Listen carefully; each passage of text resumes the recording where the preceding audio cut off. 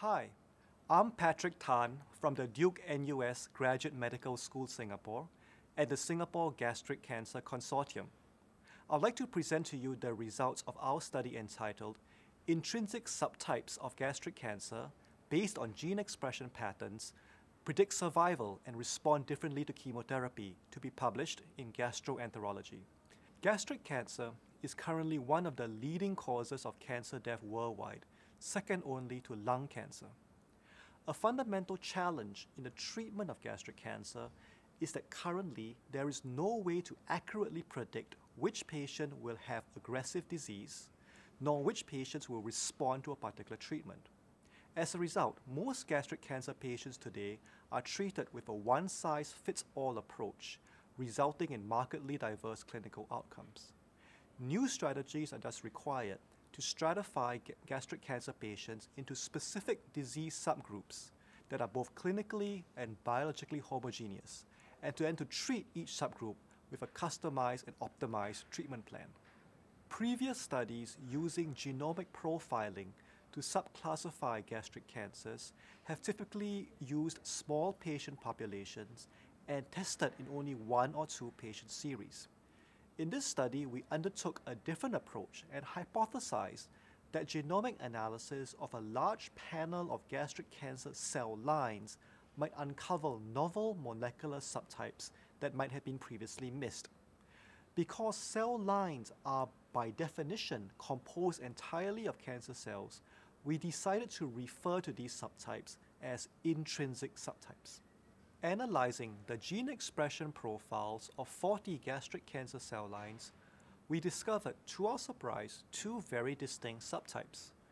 These intrinsic subtypes exhibited very distinct gene expression patterns, as shown by this gene expression heat map, where a gene signature of 170 genes could clearly distinguish between the two subtypes.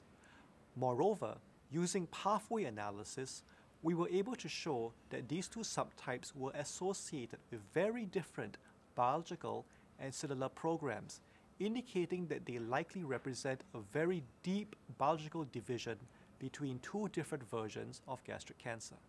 To explore the clinical in vivo relevance of this in vitro derived cell line signature, we then proceeded to map this signature onto cohorts of primary gastric cancer patients and asked if patient subgroups defined by this signature might differ in any clinical parameters. In total, we analyzed over 500 gastric cancer patients derived from a variety of different clinical populations and different countries. Using Kaplan-Meier survival analysis, as shown in this graph, we found that patients belonging to one of these subgroups, called genomics intestinal or GINT, exhibited significantly better clinical outcomes compared to patients belonging to the other subgroup called genomics diffuse or GDIF. This difference in survival remains significant even after adjusting for other clinical parameters such as disease stage.